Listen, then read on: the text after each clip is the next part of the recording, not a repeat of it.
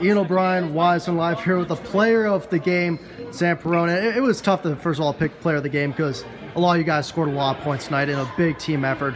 Talk about the team real quick this year. Four and two, two and one in the NE8. What's it like just compared to last year to this year with this team? Uh, last year, last year was rough. It was. I don't. I don't feel like we got put together last year. Last year we're all. This year we're kind of coming together more as a team, more as a family. Uh, yeah, all my boys putting in work, all scoring about the same. I mean, we're all up there in the digits. Talk about this game now. You guys were up by 30, almost. We and then afterwards, second half started, and you, they just bewildered a bit, and they just started sending number one right there to you, of course, Del Grotto.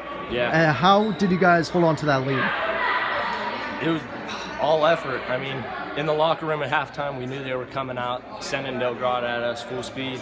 And he's a good basketball player, good athlete. So is the team itself.